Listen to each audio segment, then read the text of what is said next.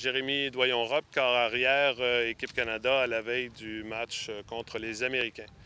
Euh, Jérémy, on attend une full record demain pour le match contre les Américains en finale du championnat mondial. Penses-tu que ça peut être un facteur dans le match?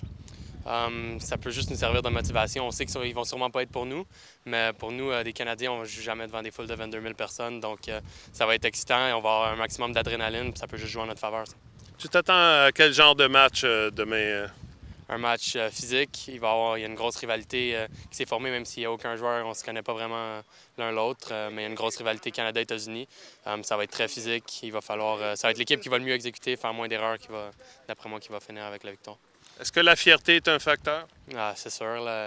tout le monde parle, arrête pas de parler des États-Unis. c'est, le gros pays de football dans le fond dans le monde, mais nous, on veut montrer qu'on est capable de jouer au football. Puis on va faire tout ce qu'on a à faire pour gagner. Jérémy Doyon-Rock, bonne chance. Merci beaucoup.